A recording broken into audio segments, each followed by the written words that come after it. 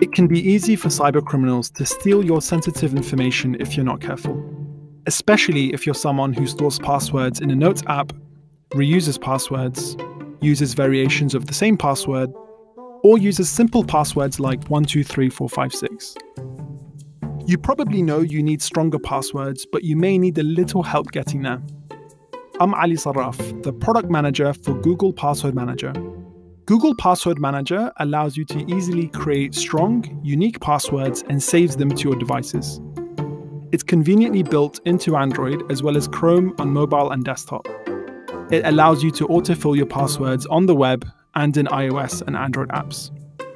It's accessible on laptops, tablets, and phones, and you can access these passwords even when you're not using Chrome or Android by going to passwords.google.com.